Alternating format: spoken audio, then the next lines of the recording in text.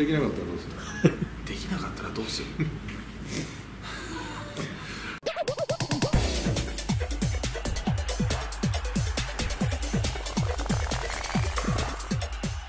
チームの優勝チームの優勝はあのーまあ、やっぱり郵政浅村、まあ、銀さんもそうですけど、抜けるのはもうもう戦力的には痛いですけどでもよりこうもうまとまるしかないってみんなが思うんじゃないかなと思いますなんかまとまるっていうのは簡単じゃないんですけど、まとまるっていうのはやっぱりキャプテンがしかしないしなくてまとまらないよねあキャプテンが何にもできないようだったらダメだと思うんで、まあ、いろんな選手喋ろう喋ろうとはしてますね、はいじゃあ優勝できなかったらどうするできなかったらどうする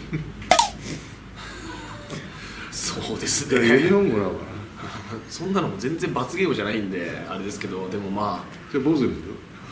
あそこまで背負ってやるんだったらキャプテン引き受けなかったと思うんですけど坊主嫌だとかじゃないんですけど坊主だよってる？豊さんの場合はまあ坊主っていう言い方をどうなんてこと言っていいか分かんないしベースラスの何て言ったらいいんですかね、何はい、まあ。言っていいよちゃんと。そうですね。もともと坊主しかねえじゃないかって言うなよ。いや言ってないです。昔は昔の映像僕見たことありますから昔は。神奈川出身だもんね。はい。うんまあそうですね、まあ、優勝はチームでどうどういうふうになっていくかですね、はい。まあ、活気があればなんとかなっちゃうところもあるんじゃないかなと思う。ので、でも若いし活気があるよねみんなね。元気がいいし。はい、でみんな練習好きだよね意外に。そうですか。いや結構走ってるじゃん。走るのは多分個人的にやってるんじゃなくてそのやらされてるいやまあやらされてるというかメニューとして組んでもらってでるんで。もチームでなかなかこうここまでこうしつこく走らせない本当ですか。今何時だ？3時半です。あもうこんなに長くやってるところそんなにないからまあ、個別終わってみんなバラバラやってるんですけど、そのトレーニングコーチが、まあ、最後に見てくださるんででも去年やっぱ怪我がなかったんですよ、うん。まあ、郵政は一月抜けましたし、あまあ中村さんもちょっとありましたけど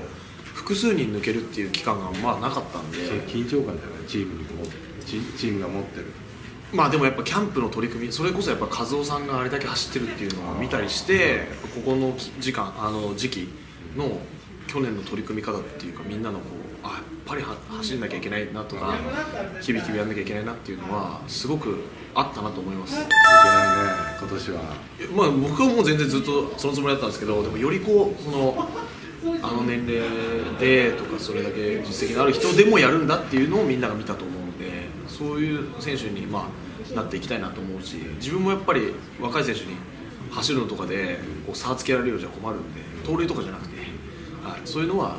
なるべく前で走るようにとは思ってますけど、はい。ファンがすごく気にしてるんだけど。はい、いいじゃんでも気にされても僕今何にもできないできないとか言えないヤフーのトップニュースでも出てくるんだ本当ですか、うヤフーのトップもじゃあある意味あれですね。大したことないですね。いやそのニュースの力といやいやそれだけ注目してるっていうこといやそれはありがたいんですけど。だから首位打賞最多賞最多賞じゃない最多安打取ったら、はい、いやまあ。ど来るよね向こうから勝ってる。うなんですかね、まあ、僕も本当年齢的な問題があるんでそれはもうなんていうんですかね何が何でもっていうその郵政とかにもずっとアメリカに行きたいと思ってた人間じゃなくてやっぱりそこで戦える場面があるかどうかも分かんないですし今年1年本当にダメだったらそんな市場もないと思ってるんでもう全然そこまで考えられないです。オフはやっぱりなんていうんですか、まあ、契約期間とかその後のあの練習期間とかで、まあ、いろんな方話をされたりとかまあか なんていうんですか解説の方とかも言われましたけどでもあんまりだからそのそこから全然自分としても考える余裕がないというか、はい、しっかり今年やらなきゃなっていうことに、はい、だいぶ切り替わってます。まあ、それに集中してる